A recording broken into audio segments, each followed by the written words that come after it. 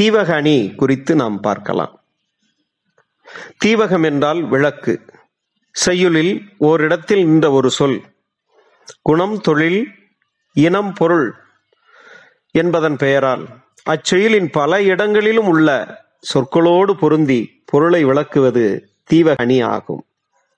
தீவகணி என்பதற்கு குணம் தொழில் சாதி பொருள் குறித்து ஒரு சொல் ஒருவையின் நின்றும் பலவையின் பொருள் தரின் தீவகம் செய்யுள் மூவிடத்து இயலும் என்று தண்டி அலங்காரம் இலக்கணம் கற்பிக்கிறது.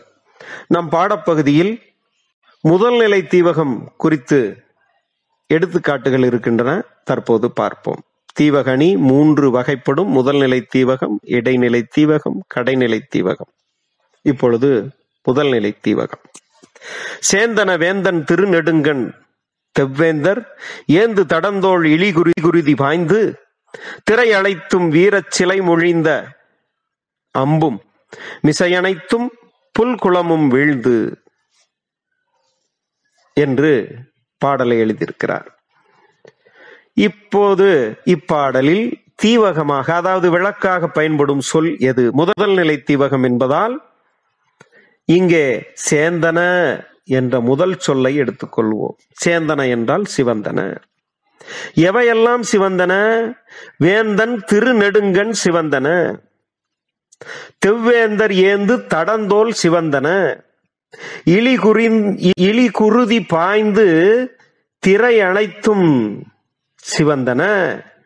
வீரச்சிலை பொழிந்த அம்பும் சிவந்தன. மிசையனைத்தும் சிவந்தன. புல்குளமும் வீழ்ந்து சிவந்ததே என்று நாம் பொருள் கொள்ள வேண்டும்.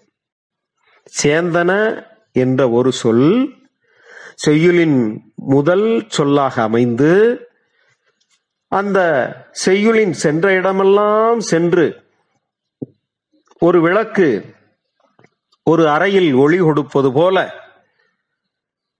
ஒவ்வொரு அடியிலும் சென்று பொருள் தருகிறது. இவ்வாறு வருவது தீவக அணி ஆகும்